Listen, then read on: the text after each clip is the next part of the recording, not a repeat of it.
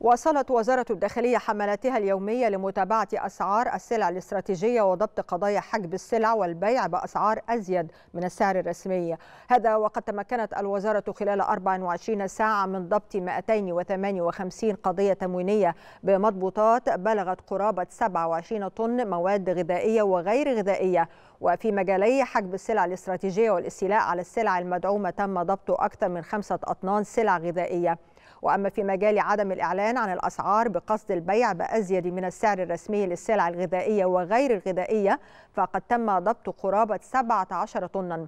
وفي مجال قضايا المخابز تم ضبط 289 قضية من بينها 95 قضية خبز ناقص الوزن و115 قضية خبز غير مطابق للمواصفات. وأما في مجال ضبط مخالفات التلاعب بمنظومة توريد وتداول القمح المحلي فقد تم ضبط تسع قضايا بمضبوطات بلغت قرابة 40 طن أقماح محلية.